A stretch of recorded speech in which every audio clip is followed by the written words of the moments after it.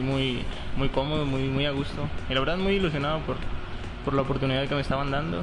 Y este, pues nada más que nada me metí a aprovechar la oportunidad y simplemente a, a jugar, más que nada que es lo que me gusta. No, que simplemente hiciera lo que yo sabía hacer y que mm, lo disfrutara, que jugara, nada más. Muy feliz por, por ese gran logro pero pues ahora no enfocarse ya a lo que es más primera división. Trabajar no más duro más duro para tratar de, de, estar el más tiempo posible en la cancha y, y por qué no pensar no en ganarse el puesto